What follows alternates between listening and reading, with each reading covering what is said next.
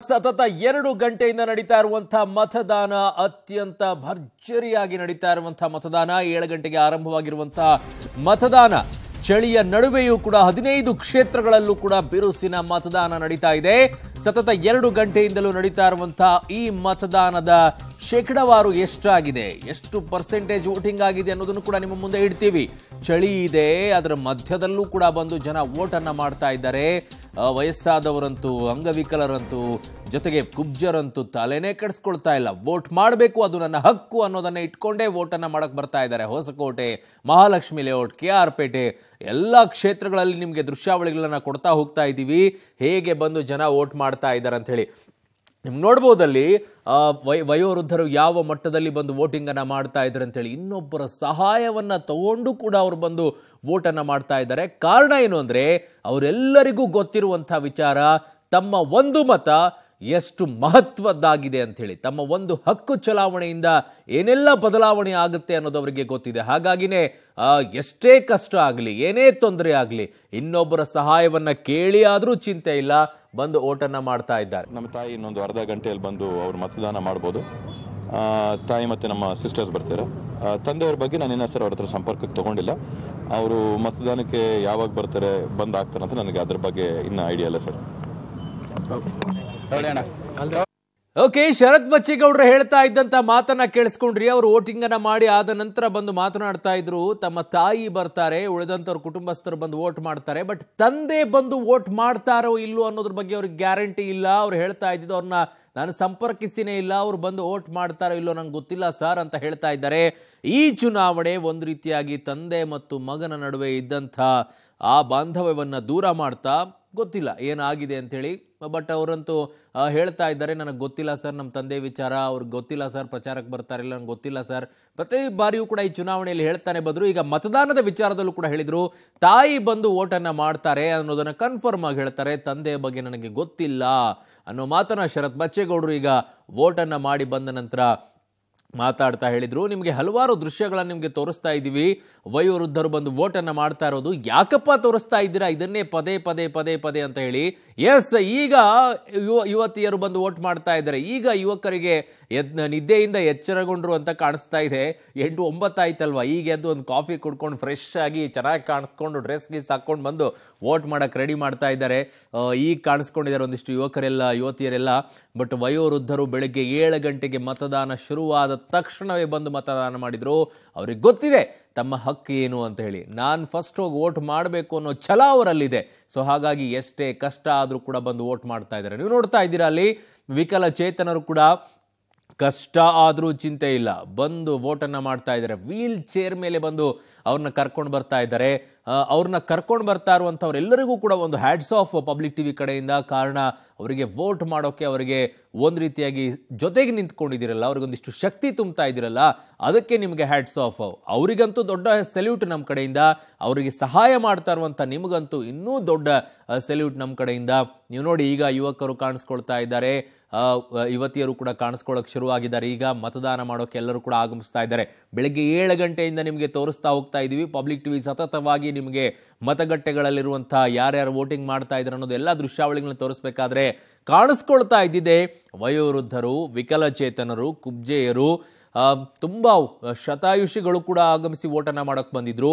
ಯಾಕೆ ಅವ್ರನ್ನ ತೋರಿಸಿದ್ರಪ್ಪ ಅಂತಂದಾಗ ಅವರೊಂದು ರೀತಿ ಸ್ಫೂರ್ತಿ ಸಿಗಲಿ, ಅವರನ್ನು ನೋಡೇ ಎದ್ದು ಬಂದರು ಅಂತ ಕಾಣಿಸುತ್ತೆ ಯುವಕರು. ಇನ್ಮೇಲೆ ಶುರು ನೋಡಿ, ಯುವಕರು ಏನು ಸುಮ್ಮನೆ ಇರಲ್ಲ, ಯುವತಿಯರು ಏನು ಸುಮ್ಮನೆ ಇರಲ್ಲ. ನಾವು ತೋರಿಸ್ತೇವೆ ನೋಡಿ ಅಂತೇಳಿ ಈಗ ಮಧ್ಯಾಹ್ನ ಎಲ್ಲ ಯುವಕ, ಯುವತಿಯರೇ ವೋಟ್ ಮಾಡ್ತಾರೆ ಅಂತ ಕಾಣಿಸುತ್ತೆ. ವೋಟಿಂಗ್ ಪರ್ಸೆಂಟೇಜ್ ಕಳೆದ ಬಾರಿ ಐವತ್ತೆರಡು ಪರ್ಸೆಂಟೇಜ್ ಆಗಿತ್ತು, ಐವತ್ತೆರಡರಿಂದ ಐವತ್ತೈದು ಈ ಹದಿನೈದು ಕ್ಷೇತ್ರಗಳ ಲೆಕ್ಕಾಚಾರದಲ್ಲಿ ಸರಿಸುಮಾರಾಗಿ ಆ ಪರ್ಸೆಂಟೇಜು ಹೆಚ್ಚಾಗಲಿ, ಹೆಚ್ಚು ಮಾಡಿ, ಅದನ್ನು ನೀವು ತೋರಿಸಿ ಈ ಸಲ ನಾವು ತೋರಿಸ್ತೇವೆ ನೋಡಿ ಈ ಸಲ ವೋಟಿಂಗ್ ಪರ್ಸೆಂಟೇಜ್ ಎಷ್ಟು ಜಾಸ್ತಿ ಮಾಡ್ತೀವಿ ಅಂತ ಹೇಳಿ ಈ ಹದಿನೈದು ಕ್ಷೇತ್ರಗಳಲ್ಲಿರುವಂಥ ಜನ ತೋರಿಸಿ.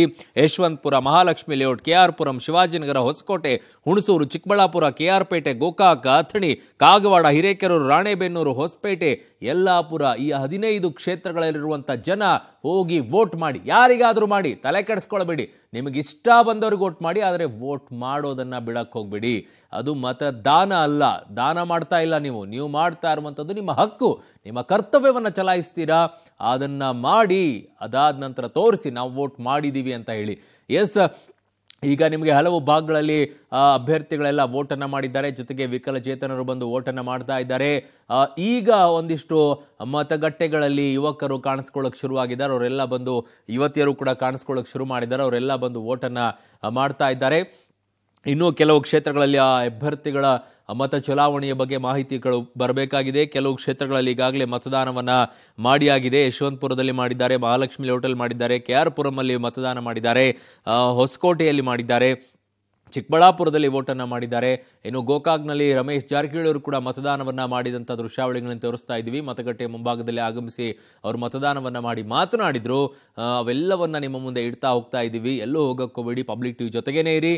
ಪ್ರತಿ ಕ್ಷಣದ ಮಾಹಿತಿಯನ್ನು ಕೂಡ ನಿಮಗೆ ಮಾಡ್ತೀವಿ. ಇನ್ನು ಕೆ ಆರ್ ಪೇಟೆಯಲ್ಲಿ ಕಾಂಗ್ರೆಸ್ನ ಅಭ್ಯರ್ಥಿ ಚಂದ್ರಶೇಖರ್ ಅವರು ತಮ್ಮ ಕುಟುಂಬ ಸಮೇತರಾಗಿ ಬಂದು ಮತದಾನವನ್ನು ಮಾಡಿದ್ದಾರೆ. ಅದೃಷ್ಟ ಪರೀಕ್ಷೆಗೆ ಅವರು ಇಳಿದಿದ್ದಾರೆ. ಏನಾಗುತ್ತೆ, ಏನಿಲ್ಲ ಅನ್ನೋದನ್ನ ನೀವು ಡಿಸೈಡ್ ಮಾಡಿ ಮತದಾರರು ಮತದಾನವನ್ನು ಮಾಡುವಂತ ಸಂದರ್ಭದಲ್ಲಿ ಯಾರಿಗಾದರೂ ಮತದಾನವನ್ನು ಮಾಡಿ, ಅವರಿಗೆ, ಇವರಿಗೆ ಅಂತಲ್ಲ, ನಿಮಗೆ ಯಾರಿಗೆ ಇಷ್ಟ ಅನ್ಸುತ್ತೋ, ನಿಮ್ಮ ನಿಮ್ಮ ಮತ ಯಾರ ಅಭಿವೃದ್ಧಿಗೆ ಸಹಾಯ ಆಗುತ್ತೋ, ಯಾರಿಗೆ ಹಾಕಿದರೆ ನಮಗೆ ಕ್ಷೇತ್ರ ಚೆನ್ನಾಗಿರುತ್ತೋ, ನಮಗೂ ಒಳ್ಳೆಯದಾಗುತ್ತೋ ಅನ್ನೋದನ್ನು ಯೋಚನೆ ಮಾಡಿಕೊಂಡು ಯಾರಿಗಾದರೂ ಓಟನ್ನು ಹಾಕಿ, ಆದರೆ ವೋಟ್ ಮಾಡೋದನ್ನು ಮಾತ್ರ ಬಿಡಕ್ಕೆ ಹೋಗಬೇಡಿ. ನಾವು ಅಷ್ಟೇ ಹೇಳೋದು, ವೋಟ್ ವೋಟ್ ವೋಟ್. ವೋಟ್ ಮಾಡೋದನ್ನು ಬಿಡಬೇಡಿ. ಯಾರಿಗಾದರೂ ಹಾಕ್ಕೊಳ್ಳಿ. ಅದು ಕಾಂಗ್ರೆಸ್ಸೋ, ಜೆ ಡಿ ಎಸ್ಸೋ, ಬಿ ಜೆ ಪಿನೋ, ಯಾರಿಗಾದರೂ ಹಾಕ್ಕೊಳ್ಳಿ. ಏನು ಬೇಕಾದರೂ ಯೋಚನೆ ಮಾಡ್ಕೊಳ್ಳಿ. ವೋಟ್ ಮಾತ್ರ ಹೋಗಿ ತಪ್ಪದೆ ಹಾಕಿ. ಅವರನ್ನು ನೋಡಿ ವಿಕಲಚೇತನರು ಯಾವ ರೀತಿಯಾಗಿ ವೋಟ್ ಹಾಕ್ತಾ ಇದ್ದಾರೆ ಅವರನ್ನು ನೋಡಿ ವಯೋವೃದ್ಧರು ಯಾವ ರೀತಿ ಊಟನ ಹಾಕ್ತಾ ಇದ್ದಾರೆ. ನನಗೆ ಭಾಳ ಇವತ್ತು ಖುಷಿ ತಂದಿದೆ. ನೀವು ಇವತ್ತು ಸಂಜೆ ಎಲ್ಲ ಇವತ್ತೆಲ್ಲ ಕೆ ಆರ್ ಪೇಟೆ ತಾಲೂಕಿನ ನೀವು ಪ್ರವಾಸ ಮಾಡ್ತಿರಲ್ಲ. ನಿಮ್ಮ ಕಣ್ಣು ಮುಂದ್ಗಡೆ ಈ ತಾಲೂಕಿನ ಜನ ಏನು ಅನ್ನೋದು ಇಡೀ ರಾಜ್ಯದ, ರಾಷ್ಟ್ರದ ಜನಕ್ಕೆ ತೋರಿಸ್ತೀರಿ. ಒಳ್ಳೆಯ ಭವಿಷ್ಯನ ಇವತ್ತು ತಾಲೂಕಿನ ಜನ ಹಣಕ್ಕೆ ಬೆಲೆ ಕೊಡ್ತಾರ, ಜನಕ್ಕೆ ಬೆಲೆ ಕೊಡ್ತಾರ, ನಾಯಕರಿಗೆ ಬೆಲೆ ಕೊಡ್ತಾರ ಅನ್ನೋದನ್ನು ಇವತ್ತು ಜನ ತೋರಿಸ್ತಾ ಇದ್ದಾರೆ. ನಾನು ಹೋದ ಕಡೆ ಎಲ್ಲ ಭಾಳ ಪ್ರೀತಿಯಿಂದ, ವಿಶ್ವಾಸದಿಂದ ನನ್ನ ಸೇವೆ ಇದೆ ನನ್ನ ಮೂವತ್ತು ವರ್ಷದ ಸೇವೆ ಅದು ಇವತ್ತು ಕೆಲಸ ಮಾಡ್ತಾ ಇದೆ. ನೂರಕ್ಕೆ ನೂರು ಭಾಗ ಗೆಲ್ತೀನಿ. ಅದೇ ಈಗ ನಿಮಗೆ ಮಂಡ್ಯ ಅಂದರೆ ಏನು ಅನ್ನೋದು ಇಡೀ ಇಂಡಿಯಾಗೆ ಗೊತ್ತಾಗಿದೆ ಈಗಾಗಲೇ. ಮಂಡ್ಯದ ಜನ ಹಣಕ್ಕೆ ಬೆಲೆ ಕೊಡೋದಿಲ್ಲ ಅಂತ ಕಳೆದ ಸ್ವಾಭಿಮಾನ ತೋರಿಸಿದ್ದಾರೆ. ಅದು ಈ ಸಾರಿ ಪುನರಪ್ಪಿ ಆಗುತ್ತೆ. ನನ್ನ ಜೀವಮಾನದಲ್ಲೇ ಈ ಮಟ್ಟದ ಚುನಾವಣೆನ ನನ್ನ ತಾಲೂಕಿನ ಜನ ನೋಡಿರಲಿಲ್ಲ. ಇಂಥ ಕೆಟ್ಟ ರಾಜಕಾರಣಿಗಳು ಬಿ ಜೆ ಪಿಲಿ ಇದ್ದಾರೆ ಅಂತ ಈ ಸಾರಿ ಇಡೀ ಜಿಲ್ಲೆ, ತಾಲೂಕು, ರಾಜ್ಯ ಇವೆಲ್ಲಕ್ಕೂ ಇವತ್ತು ಗೊತ್ತಾಗಿದೆ. ಏನಿಲ್ಲ, ಮೂರನೇ ಸಾರಿ ನೂರಕ್ಕೆ ನೂರು ಭಾಗ. ನಾನು ಕಳೆದ ಸೋತಿಲ್ಲ. ಕುಮಾರಸ್ವಾಮಿ ಅವರ ಸುಳ್ಳು ಭರವಸೆ. ಅದರಿಂದ ನಾನು ಕೆಲವೇ, ಕೆಲವು ಅಂತರದಿಂದ ಸೋತಿದ್ದೆ. ಈಗ ನೂರಕ್ಕೆ ನೂರು ಭಾಗ ಗೆಲ್ತೇನೆ. ಇದು ಕೆ ಆರ್ ಪೇಟೆಯ ಕಾಂಗ್ರೆಸ್ನ ಅಭ್ಯರ್ಥಿ ಚಂದ್ರಶೇಖರ್ ಅವರು ಅನ್ನೋದನ್ನ ನೋಡಿದ್ವಿ. ಮತ್ತೊಂದು ಕಡೆ ನಿಮ್ಗೆ ದೃಶ್ಯಾವಳಿಗಳನ್ನ ನೋಡ್ತಾ ಇದ್ವಿ ಕುಬ್ಜೇರ್ ಯಾವ ರೀತಿಯಾಗಿ ಬಂದು ಓಟನ್ನ ಮಾಡ್ತಾ ಇದ್ದಾರೆ ಅಂತೇಳಿ ಯಾಕಪ್ಪ ಇದನ್ನ ಪದೇ ಪದೇ ತೋರಿಸ್ತೀರಾ ನಮಗೆ ಅಂತ ಅನ್ಕೊಳಕ್ ಹೋಗ್ಬೇಡಿ. ನಿಮಗೆ ಸ್ಫೂರ್ತಿ ಸಿಗಲಿ, ಅದರಿಂದ ಓಟನ್ನ ಮಾಡಿ ಅಂತ ಹೇಳಿ ಅವರಲ್ಲಿರುವಂಥ ಉತ್ಸಾಹವನ್ನ ನೋಡಿ ಅಂತ ಹೇಳಿ. ಇನ್ನು ಚಿಕ್ಕಬಳ್ಳಾಪುರದಲ್ಲಿ ಓಟನ್ನ ಮಾಡಿದ ನಂತರ ಸುಧಾಕರ್ ಅವರು ಮಾತನಾಡಿದ್ರು. ಡಾಕ್ಟರ್ ಸುಧಾಕರ್ ಏನು ಮಾತಾಡಿದ್ರು ನೋಡಿ. ನೂರ ಮೂವತ್ತು ದಿವಸ, ನೂರ ನಲವತ್ತು ದಿವಸದ ಅಜ್ಞಾತವಾಸ ರಾಜಕೀಯದ ಅಜ್ಞಾತವಾಸ ಇವತ್ತು ಅಂತ್ಯ ಆಗುತ್ತೆ ಅಂತ ತಿಳ್ಕೊಂಡಿದ್ದೀನಿ. ಇದರ ತಾರ್ಕಿಕ ಅಂತ್ಯ ಒಂಬತ್ತನೇ ತಾರೀಕು. ಫಲಿತಾಂಶದೊಂದಿಗೆ ಜನತಾ ನ್ಯಾಯಾಲಯದಲ್ಲಿ ಆತ್ಮಸಾಕ್ಷಿಗೆ ಅನುಗುಣವಾಗಿ ನಡ್ಕೊಳ್ಳುವಂತಹ ರಾಜಕಾರಣಿಗಳಿಗೆ ಈ ದೇಶದಲ್ಲಿ ಈ ಫಲಿತಾಂಶ ಒಂದು ಆದರ್ಶದ ಫಲಿತಾಂಶ ಆಗ್ತದೆ. ನಮ್ಮಂಥವ್ರಿಗೆ ನ್ಯಾಯ ಸಿಗ್ದಂಗೆ ಆಗ್ತದೆ ಅಂತಿಮವಾದಂತಹ ತೀರ್ಪು ಅಥವಾ ಅಂತಿಮವಾದಂತಹ ಕೋರ್ಟು ಜನಪ್ರತಿನಿಧಿಗಳಿಗೆ ಅದು ಜನಸಾಮಾನ್ಯರು, ಪ್ರಜೆಗಳೇ ಪ್ರಭುಗಳು ಅಂತ ನಂಬುವಂಥ ಪ್ರಜಾಪ್ರಭುತ್ವದ ವ್ಯವಸ್ಥೆಯಲ್ಲಿ ಇವತ್ತು ಪರ್, ಪ್ರಜೆಗಳ ತೀರ್ಪು ಅಂತಿಮ ಮತ್ತು ನಿರ್ಣಾಯಕ. ಈ ಸಲ ಇನ್ನೂ ಹೆಚ್ಚಿನ ಅಂತರದಿಂದ ಗೆಲ್ಲುವಂಥ ವಿಶ್ವಾಸ ಇದೆ. ಕಾರಣ ಜನಸಾಮಾನ್ಯರು ಇವತ್ತು ನಾನು ತೆಗೆದುಕೊಂಡಂಥ ಆತ್ಮಸಾಕ್ಷಿಗೆ ಅನುಗುಣವಾದಂತಹ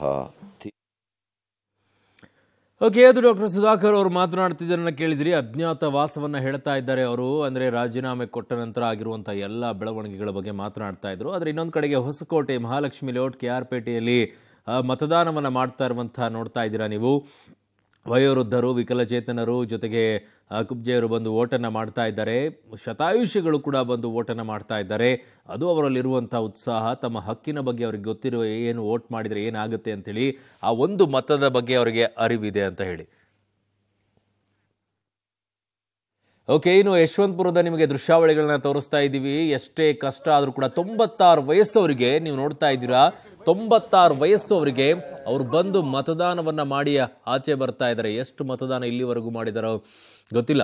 ಮಾ, ಸರಿ, ಸುಮಾರು ಒಂದು ಹದಿನೈದು ಓಟ್ಗಳನ್ನು ಮಾಡಿರ್ಬೇಕು. ಹದಿನೈದು, ಹದಿನಾರು ಮತದಾನ ಮಾಡಿರ್ಬೇಕು ಅವರು. ವೋಟನ್ನು ಮಾಡಿದ ನಂತರ ಅವ್ರು ಮಾತನಾಡಿದರು. ನಿಮಗೆ ಅವ್ರನ್ನ ಕರ್ಕೊಂಡು ಹೋಗ್ತಾ ಇರುವಂಥ ಕಷ್ಟ ನೋಡಿ ಅಲ್ಲಿ. ಪಾಪ ಗಾಡಿ ಮೇಲೆ ಯಾಕ್ರಪ್ಪ ಕೂರಿಸ್ಕೊಂಡು ಹೋಗ್ತಿದ್ದೀರಾ? ಅಯ್ಯೋ ಕಷ್ಟ ಪಟ್ಕೊಂಡು ಅವ್ರನ್ನ ಕೂರಿಸ್ಕೊಂಡು, ತುಂಬ ಕಷ್ಟ ಈ ರೀತಿಯಾಗಿ. ಸುಮ್ಮನೆ ಯಾವುದಾದ್ರು ಒಂದು ಆಟೋದಲ್ಲಿ ಯಾರಾದರೂ ಇದ್ದರೆ ಒಂದು ವ್ಯವಸ್ಥೆ ಮಾಡ್ಕೊಂಡು ಸುಮ್ಮನೆ ಆಟೋದಲ್ಲಿ ಕರ್ಕೊಂಡು ಹೋಗಿದ್ರೆ ಆಗ್ತಾ ಇರಲಿಲ್ವ ಅವ್ರನ್ನ ಬೈಕಲ್ಲಿ ಕೂರಿಸ್ಕೊಂಡು, ಒದ್ದಾಡಿಕೊಂಡು, ಅದರಲ್ಲಿ ಬೇರೆ ಮೂರು ಮೂರು ಜನ ಕೂತ್ಕೊಂಡು, ಅಯ್ಯೋ, ರಾಮ, ಪೊಲೀಸರು ನೋಡಿದ್ರೆ ಇನ್ನೇನು ಹೇಳ್ತಾರೋ? ಇಷ್ಟೊಂದು ಕಷ್ಟ ಪಟ್ಕೊಳ್ಳೋ ಬದಲಿ ಒಂದು ಆಟೋದಲ್ಲಿ ಕರ್ಕೊಂಡು ಹೋಗ್ಬಿಟ್ಟಿದ್ರೆ ಆಗೋಗಿರೋದಪ್ಪ. ಯಾರಾದರೂ ಆಟೋದವರಾದರೂ ಸ್ವಲ್ಪ ಹೆಲ್ಪ್ ಮಾಡಿಬಿಟ್ಟಿದ್ರೆ ಆಗೋಗಿರೋದವರಿಗೆ. ಅಷ್ಟೊಂದು ಕಷ್ಟ ಪಟ್ಕೊಂಡು ಏನಾದರೂ ಹೆಚ್ಚು ಕಡಿಮೆ ಆಗ್ಬಿಟ್ರೆ ಏನು ಕತೆ? ತೊಂಬತ್ತಾರು ವಯಸ್ಸವರಿಗೆ. ನಡೆದಾಡೋದೇ ಕಷ್ಟ, ಸಹಾಯ ಇಟ್ಕೊಂಡು ಬರ್ತಾರೆ. ಅದರಲ್ಲಿ ಬೈಕಲ್ಲಿ ಬೇರೆ ಕೂರಿಸ್ಕೊಂಡು ಹೋಗೋದಂದರೆ ಅವರು ವೋಟ್ ಮಾಡಿರೋ ಉತ್ಸಾಹ ನೋಡಿ ಅಷ್ಟೇ. ಬೇರೆ ಏನೂ ಇಲ್ಲ. ವೋಟ್ ಮಾಡಿರುವಂಥ ಉತ್ಸಾಹವನ್ನು ನೋಡ್ಕೊಳ್ಳಿ. ಯುವಕರು ಏಳಿ ಎದ್ದೇಳಿ. ಇನ್ನು ಮಲಗಿದ್ರೆ ಎದ್ದು ಹೋಗಿ ವೋಟ್ ಮಾಡಿ. ಹೊಸಕೋಟೆಯ ಭುವನಹಳ್ಳಿ ಮತಗಟ್ಟೆಯಲ್ಲಿ ಮತಯಂತ್ರ ಕೈಕೊಟ್ಟಿದೆ ಅನ್ನೋ ಮಾಹಿತಿ ಈಗ ಬರ್ತಾ ಇದೆ. ಕಳೆದ ಒಂದು ಗಂಟೆಯಿಂದಲೂ ಕೂಡ ವೋಟಿಂಗ್ ಸ್ಥಗಿತ ಅನ್ನೋ ಮಾಹಿತಿ ಬರ್ತಾ ಇದೆ. ಚುನಾವಣೆ ಅಧಿಕಾರಿಗಳ ವಿರುದ್ಧ ಜನರು ಆಕ್ರೋಶವನ್ನ ಹೊರಹಾಕ್ತಾ ಇದ್ದಾರೆ.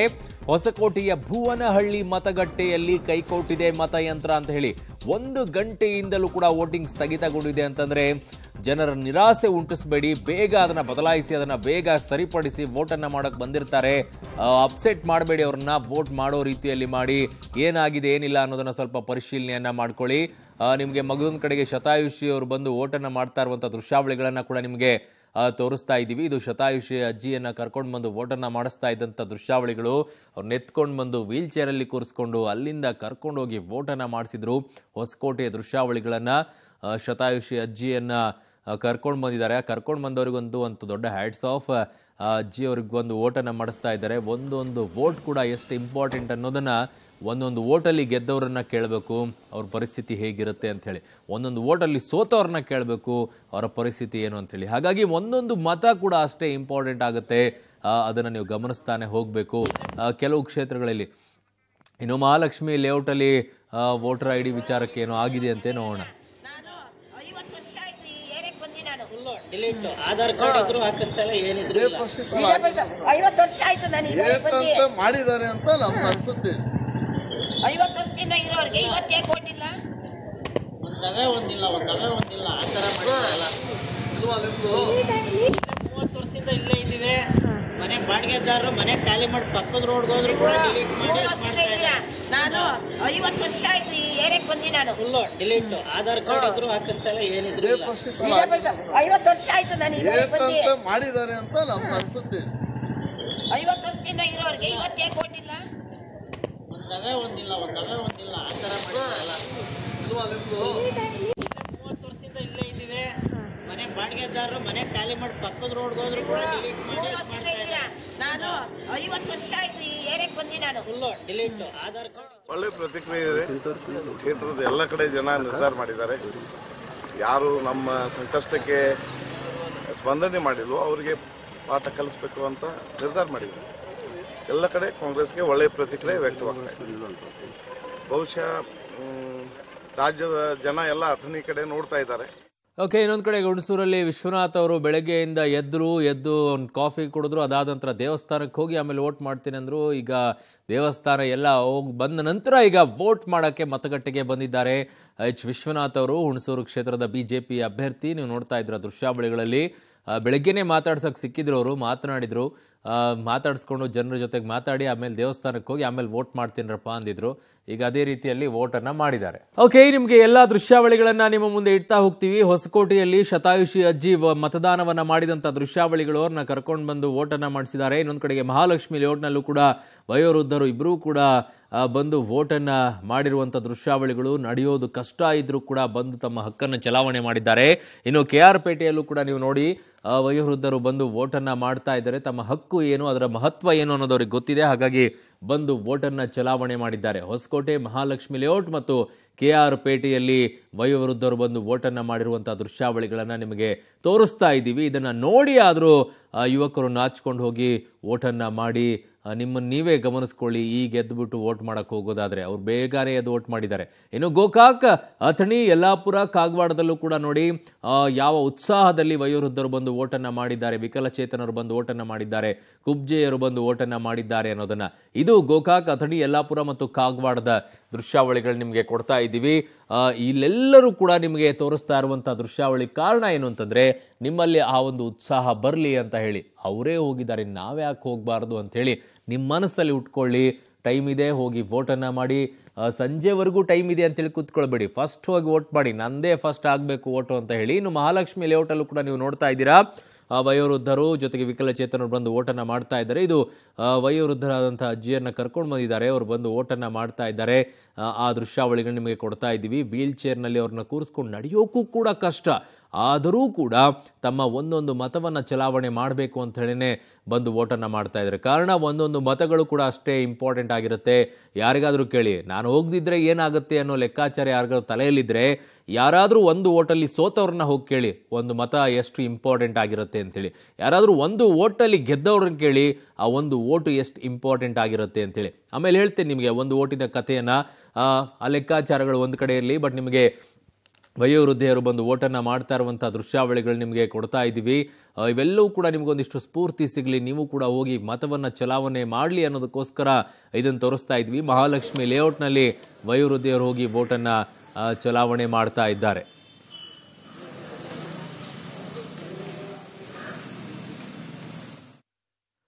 ಓಕೆ ಇನ್ನು ಹೊಸಕೋಟೆಯಲ್ಲಿ ನಿಮಗೆ ಆಗಲೇ ಹೇಳ್ತಾ ಇದ್ವಿ, ಒಂದು ಗಂಟೆಯಿಂದಲೂ ಕೂಡ ಅಲ್ಲಿ ಮತದಾನ ಸ್ಥಗಿತ ಆಗಿದೆ ಅಂತ ಹೇಳ್ತಾ ಇದ್ವಿ. ಅಲ್ಲೇನೋ ಏನೋ ಸ್ವಲ್ಪ ಮಷಿನ್ ಪ್ರಾಬ್ಲಮ್ ಆಗ್ಬಿಟ್ಟಿದೆ ಎ ವಿ ಎಂ ಸಮಸ್ಯೆ ಆಗಿರೋದ್ರಿಂದ ಜನ ಎಲ್ಲ ಆಕ್ರೋಶಗೊಂಡ್ಬಿಟ್ಟಿದ್ದಾರೆ.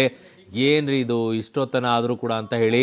ಸೊ ಈಗ ಅಲ್ಲಿ ಸ್ವಲ್ಪ ಸಮಸ್ಯೆ ಆಗಿದೆ, ಅದನ್ನು ಹೇಗೆ ಬಗೆಹರಿಸ್ತಾರೆ ಅನ್ನೋದನ್ನು ಕಾದು ನೋಡಬೇಕಾಗಿದೆ. ಸದ್ಯಕ್ಕಂತೂ ಎ ವಿ ಎಂ ಸಮಸ್ಯೆ ಹೊಸಕೋಟೆಯಲ್ಲಿ ಕಾಣಿಸ್ಕೊಂಡಿದೆ. ಇನ್ನೊಂದು ಕಡೆಗೆ ವಯೋವೃದ್ಧಿಯವರು ಬಂದು ವೋಟನ್ನು ಮಾಡ್ತಾ ಇದ್ದಾರೆ, ಮತ ಚಲಾವಣೆಯನ್ನು ಮಾಡ್ತಾ ಇದ್ದಾರೆ. ಬೆಳಗ್ಗೆ ಒಂಬತ್ತು ಗಂಟೆಯಿಂದಲೂ ಕೂಡ ಇಲ್ಲಿಯವರೆಗೂ ಶೇಕಡ ಏಳರಷ್ಟು ಮತದಾನ ಅಷ್ಟೇ ಆಗಿದೆ. ಹೋಗಿ ವೋಟನ್ನು ಮಾಡಿ, ಆ ಪರ್ಸೆಂಟೇಜನ್ನು ಇನ್ಕ್ರೀಸ್ ಮಾಡಿ. ಕಳೆದ ಬಾರಿ ಎರಡು ಸಾವಿರದ ಹದಿನೆಂಟರಲ್ಲಿದ್ದಂಥ ಐವತ್ತೆರಡು, ಐವತ್ತೈದು ಪರ್ಸೆಂಟೇಜ್ ವೋಟಿಂಗ್ ಏನಿದೆ, ಈ ಹದಿನೈದು ಕ್ಷೇತ್ರಗಳಲ್ಲಿ ಆ ಪರ್ಸೆಂಟೇಜ್ ಜಾಸ್ತಿ ಆಗಲಿ, ಹೆಚ್ಚು ಮಾಡಿ, ಅದನ್ನೇ ನೀವು ಗುರಿಯಾಗಿ ಇಟ್ಕೊಂಡು ಹೋಗಿ ವೋಟನ್ನು ಮಾಡಿ. ಯಾರಿಗೆ ಹಾಕಬೇಕು, ಅದು ನಿಮಗೆ ಬಿಟ್ಟಿದ್ದು. ಓಟನ್ನು ಹಾಕಬೇಕಾದ್ರೆ ಯಾರಿಗೆ ಹಾಕಬೇಕು ಅನ್ನೋ ಯೋಚನೆಯನ್ನು ನೀವು ಮಾಡ್ಕೊಳ್ಳಿ. ಆದರೆ ಓಟನ್ನು ಮಾತ್ರ ಹಾಕಿ ಬಿಡಬೇಡಿ. ಎಷ್ಟೇ ಕಷ್ಟ ಆಗಲಿ, ಏನೇ ಆಗಲಿ ಹೋಗಿ ಮೊದಲು ಓಟನ್ನು ಮಾಡಿ. ನಿಮ್ಮ ಕಡೆಗೆ ನಡೆಯೋಕ್ಕೂ ಸಾಧ್ಯ ಆಗ್ತಾ ಇಲ್ಲ ಅಂದರೆ ಯಾರಾದರೂ ಸಹಾಯವನ್ನಾದರೂ ಪಡ್ಕೊಂಡು ಓಟನ್ನು ಮಾಡಿ.